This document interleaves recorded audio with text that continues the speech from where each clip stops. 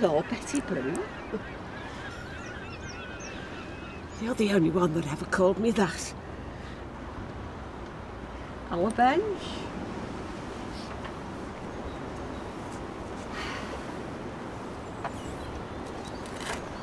How have you been? Silly question. Yeah, how long have you got? A lot less time now. You've still got the same laugh. Betty Boo. No one broke my heart like you did. I'm sorry, Jean. Oh my God, sorry. I've wanted to say that for a very long time. I just. I just felt like we had no choice back then. We thought we were the only ones, didn't we? Mm. I always wondered, did you end up marrying him?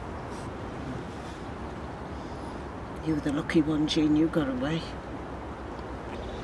I had two bets. I couldn't be myself here.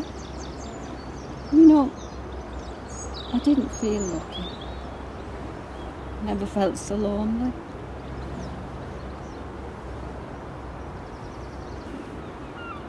Did you ever think about me?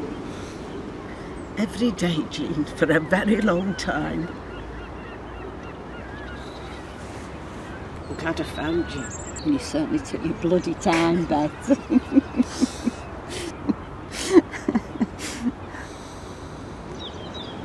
Were uh, you happy?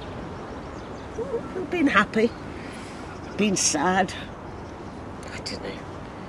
Sometimes I think life is just something that happens to you. It happened.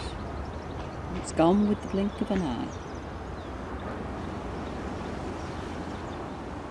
Still got that magical glint in your eye. Oh, get away! I can hardly bloody see anymore. And you're still funny. hey, do you remember kissing on the corporation bus? we didn't hold them bloody kiss, Bet.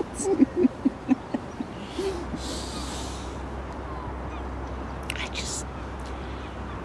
I just couldn't cope with keeping everything secret back then. and now? About now? Do you remember? You said that if I ever changed my mind, you'd meet me at our bench. Did I? I certainly didn't expect wait 55 years, Bet.